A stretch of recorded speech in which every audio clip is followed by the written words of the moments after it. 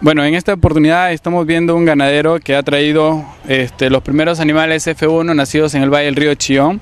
Este ganadero, este, su cabra ganado ha producido más de 3 litros y en esta oportunidad estamos viendo animales F1. Estos animales F1 eh, se obtiene al cruzar animales criollos como estos con un animal este, puro de la raza Sanen. ¿no? Estos animales en primer parto llegan a producir un poco más de un litro, ¿no? Y si, se tiene buenos cuidados y buena alimentación, para el segundo o tercer parto pueden alcanzar este, 3 litros hasta 4 litros, ¿no?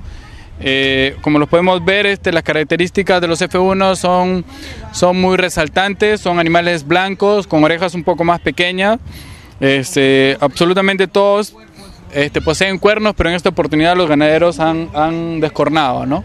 Desde que están pequeños los descornan para que no tengan dificultades este, de golpes cuando están este, un poco más adultos.